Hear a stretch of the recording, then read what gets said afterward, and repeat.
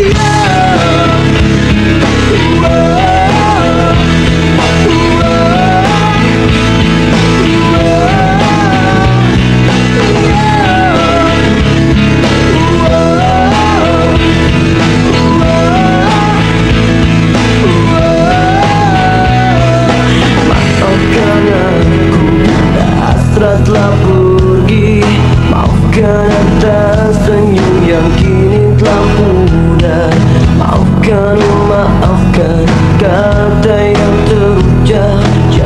Jadi